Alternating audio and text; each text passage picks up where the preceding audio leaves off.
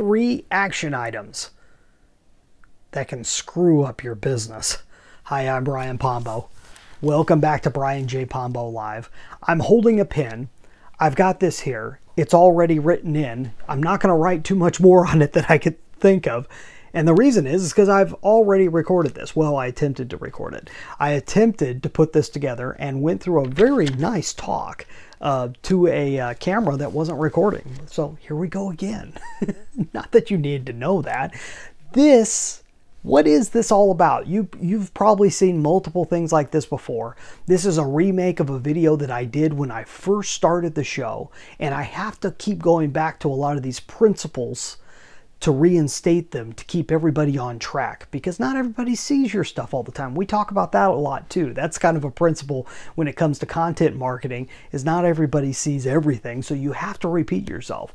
And I'm going to tell you about this because it is so useful. It is so important when you are dealing with any type of organization or you're trying to accomplish anything with other people that you understand these different areas and this all has to do with action within your business. Now this can this can work anywhere too. This isn't just business. Any type of action any type of when you're attempting to reach some type of a goal when you're trying to build something that these type of things are important. So let me explain them to you real quick. These are principles strategies and tactics. Everything that you do or talk about it fits somewhere in here when it comes to your business. Let's start at the bottom people do these in different ways, but I'm going to deal with the importance. The level of importance is on the bottom. The important part that you need before everything else is your principles to your business. Now, we talked about principle yesterday in terms of uh, truth and something that's very solid and something that's very knowable. This is more of how you translate that into your business. Where are you going with your business? What's the point of your business? More than likely, those are the, the ideas of your business that are not going to change. There are certain pieces that will not change. They may adjust over time in terms of your understanding of them, but the idea is they're solid. They're the foundation of your business. That's what a principle is. That's and you're not gonna you don't need a lot, and they don't even need to be written down, but they do need to be understood. The ideas need to be understood and they need to be understood by anybody that is working within that business that, that is working with you on a regular basis to do these other things. Strategies is the next level. Strategies are plans. Any type of planning whatsoever. Short term, long term. The idea is that they don't last forever. Strategies do not last forever. So you can't just fall in love with a strategy and hold on to it but you do need to stick with it long enough to see it through. A strategy has a beginning, middle, and an end. A strategy is we want to achieve blank, so this is how we're going to get here from point A to point B. We, we gotta we gotta get from one place to the other. Strategy is the roadmap. A lot of people have trouble with strategies. I've worked with multiple clients and partners that don't think in that way. They just want to jump in and move and get going, and they don't need to know where they're going or how.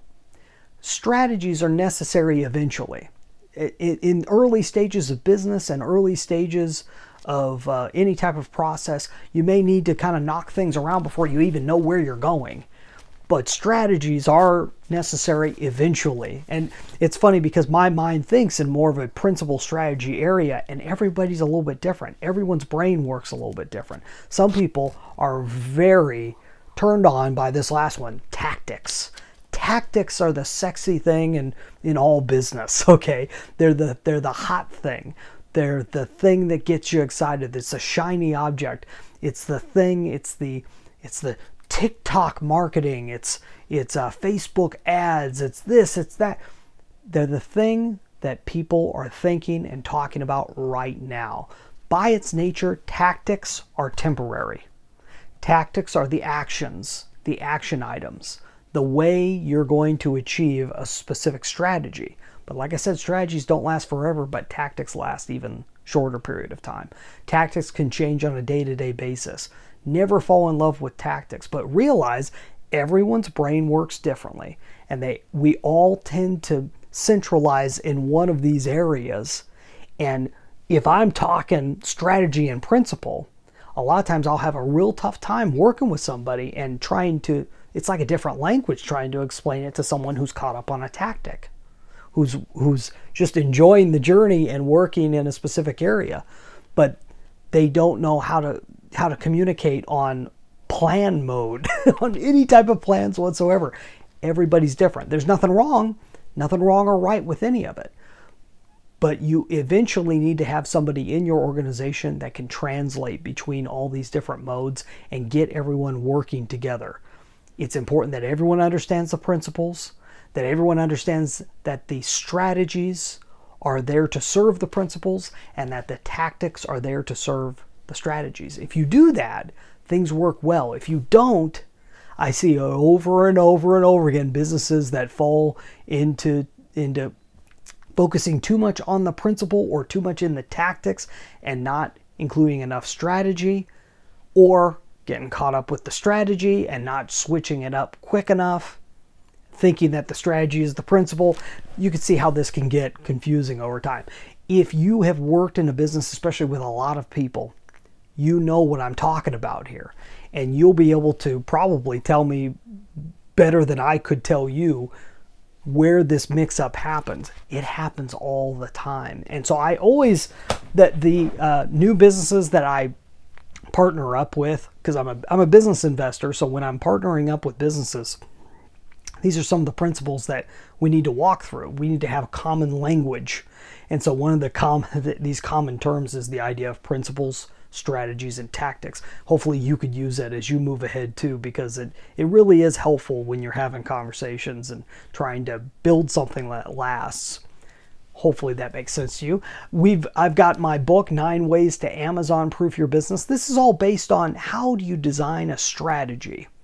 And it pulls you back to your principles in these early stages and build long-term strategies to be able to make yourself completely competition proof.